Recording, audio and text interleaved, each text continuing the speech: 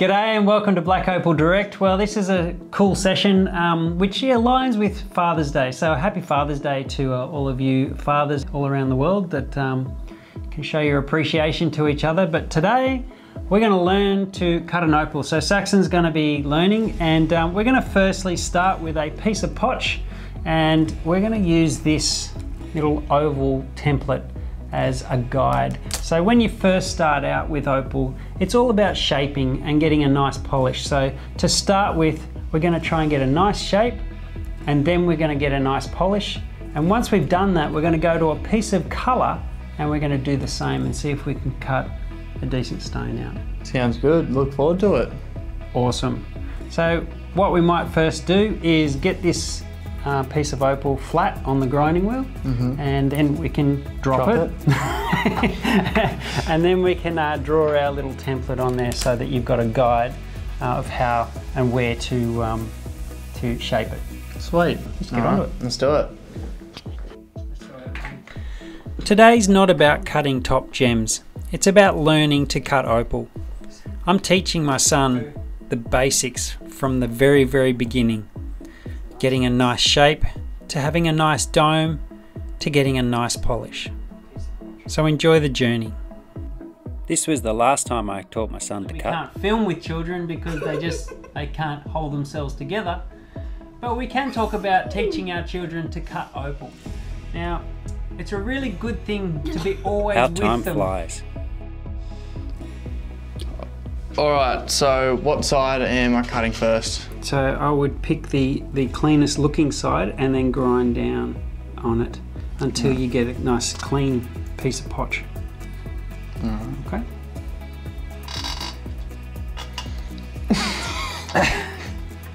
that work with kids or animals. Alrighty, so let's just get a nice flat Nice flat surface.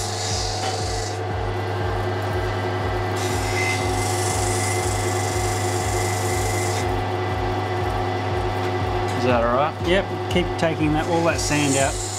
Don't worry about, um, you're not losing any money. This is a piece of potch, so um, the potch is just uh, common opal, so you don't have to worry about whether it's actually wasting money.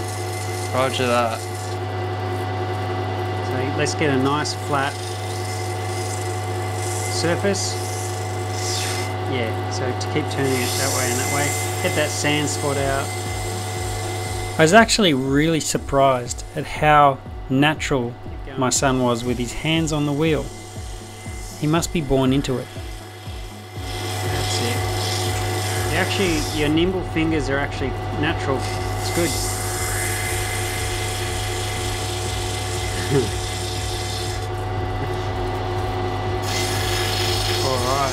Let's have a look at that surface. A little bit more. A little bit more.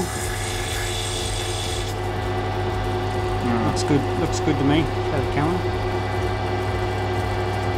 Alright, we can draw a template on that.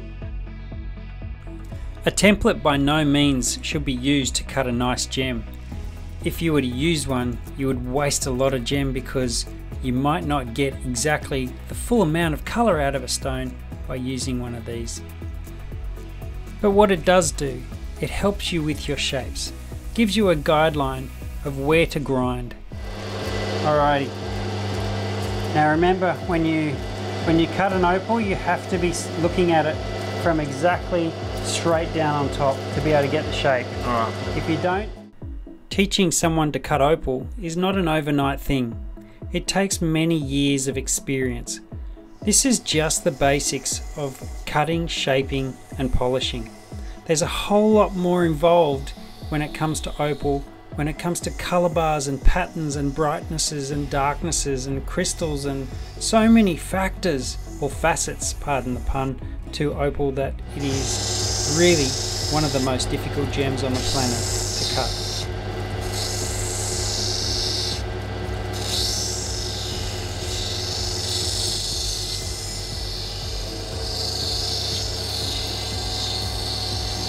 Yep, you're doing it perfectly. As you're looking straight down over the top of the stone, that gives you a really good idea of how the shape looks. If you were to try and do it um, with your head further away, it's really hard to get an idea of the shape. Right, yeah.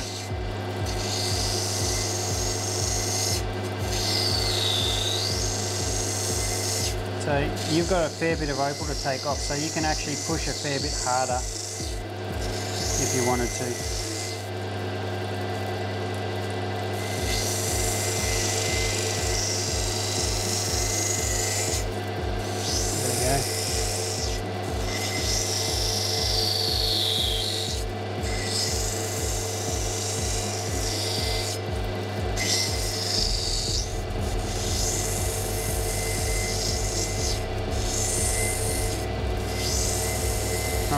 So now you're getting closer to the line. Whoops. Now you're getting closer to the line. Um, make sure that the line, the, the sides of the stone is not undercut. Make sure that it's on It's straight. straight or a little bit um, beveled. Right.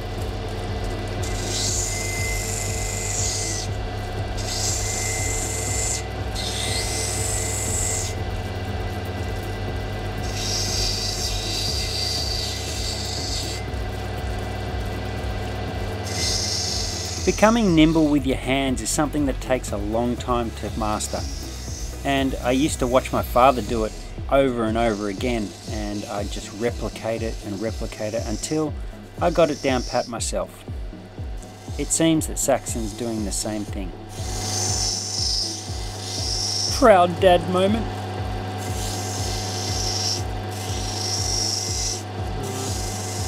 So you're pretty close to the outline now, and you've got a you've got a decent shape. So we could probably go from there instead of going right down to the line. It's just giving you a guide. So now you can start smoothing out that back a little bit. Bring the back up a little bit because it's all bumpy on the back and thick. Let me just do this a little bit more. Okay, perfectionist. I like it. Very good. Right. Now it's time. Hang on, hang on. What you want to do is you want to hold it this way because that's the thicker side and just work it until it gets down to the same thickness. Alright. Yeah. There we go. Watch your knuckles on the wheel.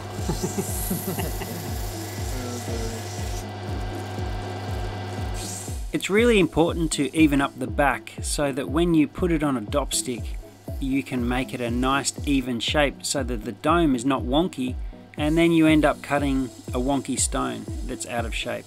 So it's really important to get that back nice and even all the way around.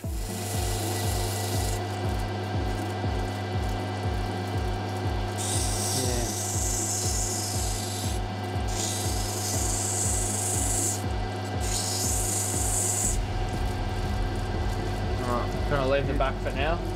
Um, Or you yeah, take that- it down more? Yeah, take it down a little bit more. You can round it a little bit more.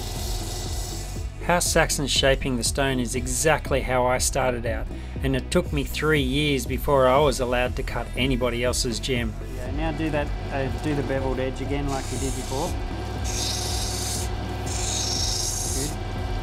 That just takes the chip away. Uh, the chances of you chipping that back when you're taking it off the stick at the moment. Now you can roll that dome a little bit if you want to. So same way you did the back beveled edge. Yeah, look at you. You're a natural. I like it.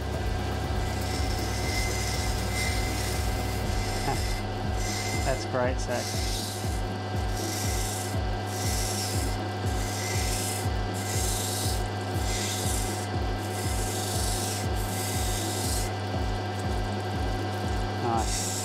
That's probably enough for now. How's your shape? Are you happy with it? Not yet. Okay. A little bit skew up here. Yeah, exactly right.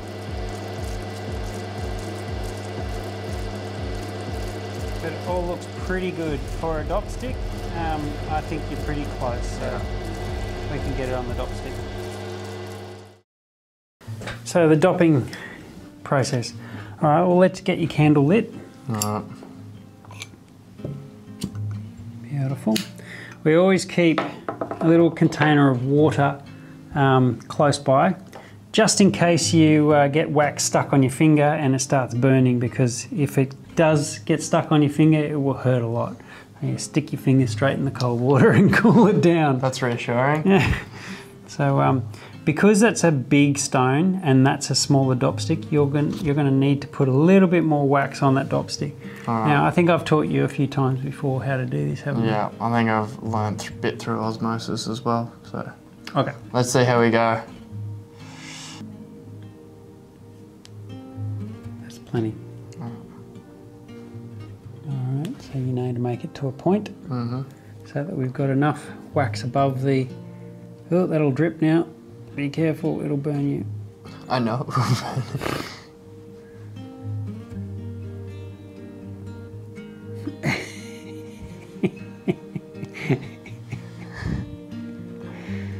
Alright, push it down a little bit into Too the much? Yeah, just a little Alright. bit.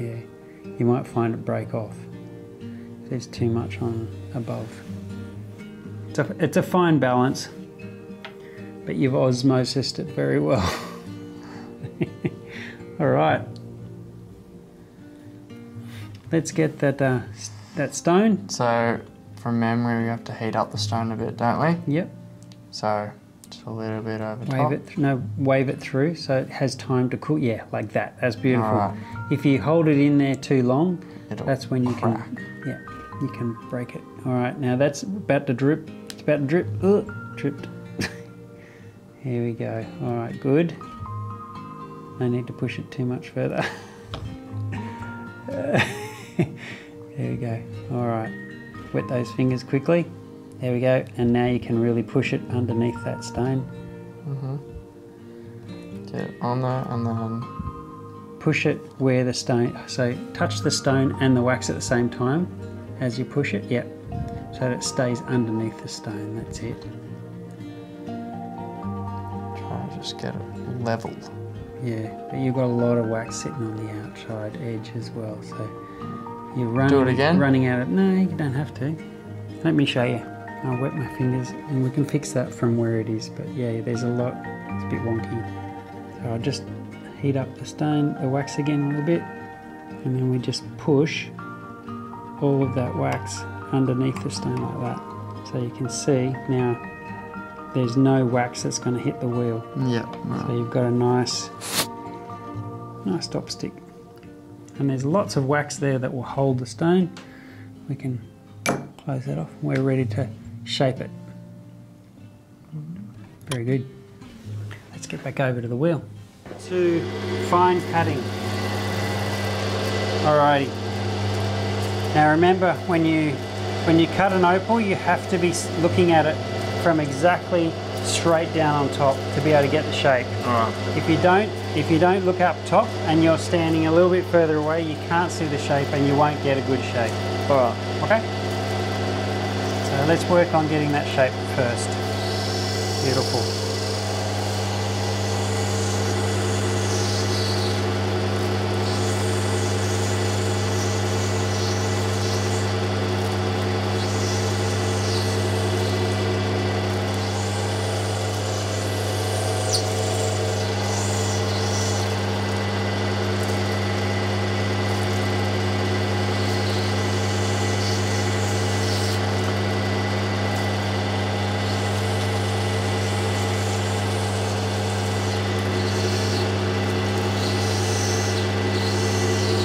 Nice, your shape's coming along really well.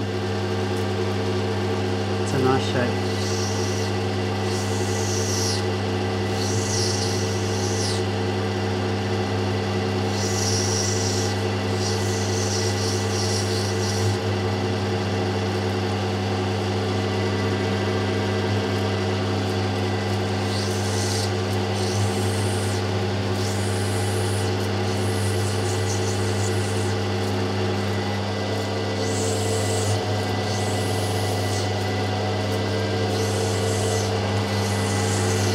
Alright, let's get that dome. Start working on that dome. So now, when you're holding the stone, you use one finger, at, one hand as a guide, which is that one, yep, and that one as your um, controlling Alright. of turning the turning the stone round and round. That's it.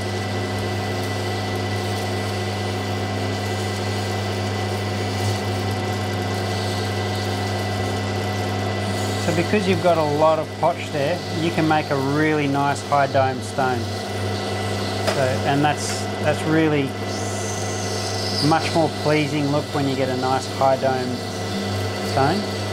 I know I like high dome stones. You don't? I do. Oh, you do. Very nice. So there is a big flat spot on the top. So what I would do is concentrate on this area here. Not so much like that.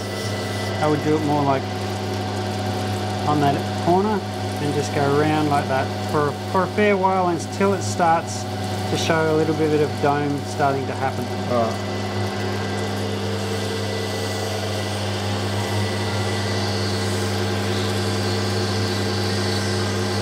Not too much on the edge, more on the top. Because what you're trying to do is you're trying to bring the top of the dome down, not the edges up, if you know what I mean. Nice.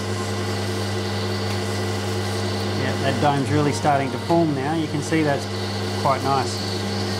Well done, you're natural. Yeah. Very impressed. All right, so now all you got to do is start doing some fine shaping. So make sure your shape is, you're happy with it, and we can go to the next wheel.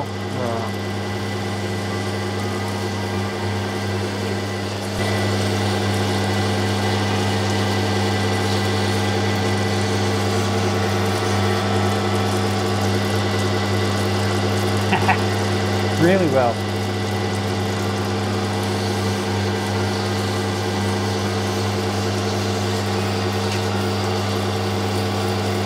Beautiful. I reckon we're ready to rock and roll to the next one, dude.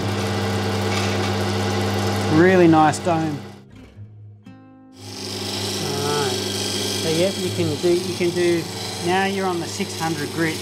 You can still do some fine shaping on this wheel, but you're mostly um, taking all the decent scratches from the last wheel out.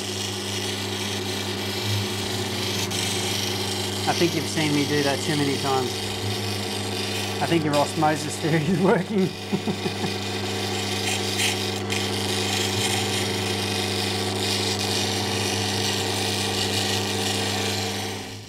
The process of polishing an opal is quite a simple but complex process. You take a rough surface and you essentially polish it with finer and finer abrasives. Getting it to work with all the colour, patterns and domes without losing colour is the real trick. Alright, give it a dry on your arm and see how it looks. And this is the 1200 grit Nova wheel.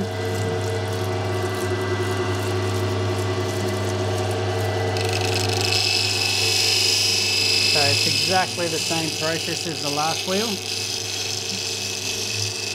You're just waiting to get that stone so it's nice, nice and shiny as a pre-polish. The process that I take when I polish an opal is I start out on a fine 500 grit hard diamond wheel and make my way to a 600 grit soft diamond Nova wheel and then I go to a 1200 diamond Nova wheel and then we go to the final polish which is a felt wheel with cerium oxide which is a glazier's polish for glass. It's a tiny bit out of shape, but I think from the first crack in a hot minute, it's not too bad. So can you see these um, these little bumps and lumps? Mm-hmm. We'll find out in a minute when we go to polish it, but there might not be quite enough work done on that wheel to get all of that out on the polish. All right. We'll find out as soon as we get on the polish. Cerium in, in the tray, not just water, and get it into every groove. There we go. Yeah, the, right there, there's still a light area. Yeah, right there. Still light. Yeah. So because that, that stone is um, quite big, the grooves are, yeah, that's probably the best groove to choose. He knows what he's doing.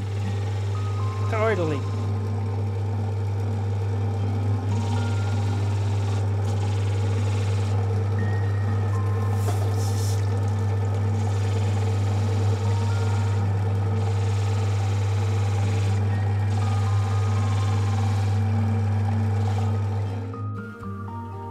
So how do you reckon I did?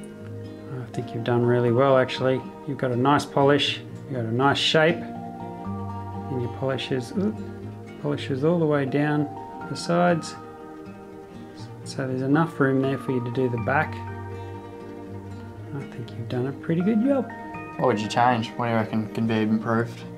Um, we could have probably trimmed in this sand on this side Mm-hmm. um, just to get it um, a little bit cleaner on the edges so it doesn't show up in the top. Mm-hmm. That's about all. Um, everything else is a really nice job. Does really the nice shape- dome. Does the shape look a little bit off to you? Only because of that sand spot. Yeah, right, yeah. But that's around about it. But anything here, like there's a little bump there, but we can shape that on when we're doing the back. We can actually adjust the shape slightly. So you've done a good job. Sweet. Well done. In the coming weeks, you'll see Saxon cut another piece of opal, but with colour this time. Thanks for watching, and we'll see you next time.